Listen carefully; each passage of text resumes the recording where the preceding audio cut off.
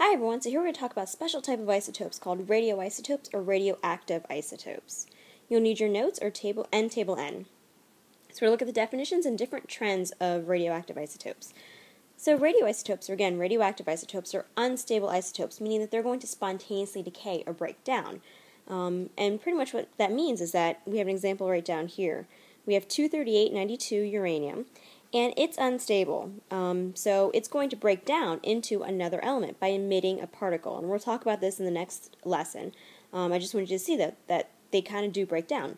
Um, so the reason that these isotopes are unstable is because they have a um, varied ratio of protons to neutrons. So if you think about this in the nucleus, you have a whole bunch of protons, they're positively charged. You need to have a certain number of neutrons in there to balance out the positive charges because since those positive charges, um, since the uh, charges of the protons are alike, they're going to repel one another. So the neutrons are in there just kind of to like buffer or stabilize that nucleus. If you have too few or too many neutrons, then that nucleus will be unstable and it's going to emit um, protons or neutrons from that nucleus. So here are some basic trends. This, um, here we have protons on the x-axis, neutrons on the y-axis. And the red line represents the um, same ratio or one to one ratio of protons to neutrons. So if you notice below like element 20, um, and you know what element 20 is because of the number of uh, protons right there.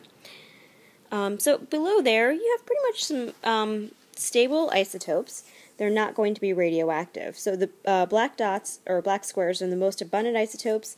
The pinkish ones are other isotopes found in nature, and the blank ones are radioactive isotopes as you go up, or increase the number of protons, you find that many, there are many more neutrons in the nucleus than there are going to be protons. Um, again, the heavier that uh, nucleus is, the more neutrons are needed in order to stabilize the um, protons that are repelling one another. So here are some basic trends. So some elements have only one isotope, but um, many of them have more than one isotope um, the number of neutrons are equal to or greater than the number of protons. And all elements above 83 are unstable. So if you take a look at 83 above here, we have some unstable ones right over there. And when they're unstable, they're going to decay, meaning they're going to release protons and neutrons.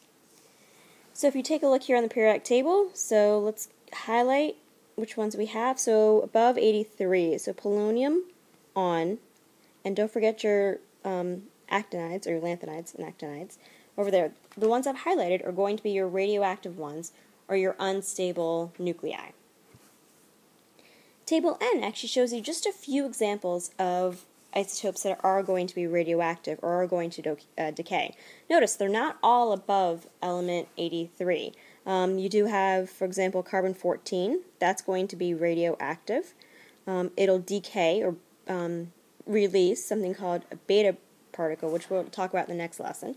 Um, you've got, for example, hydrogen or deuterium. Um, this is a radioactive isotope, and then you have heavier ones, like anything that has a pretty large um, mass number are going to be the heavier isotopes. Again, these are just some of the radioactive isotopes. These are going to be unstable um, because they have a varied ratio of protons to neutrons. It's not a one-to-one ratio. So unstable or radioactive isotopes are unstable. Their atomic numbers are, um, excuse me, elements above 83 all have radioactive isotopes, even though the ones below can also have some radioactive isotopes as well.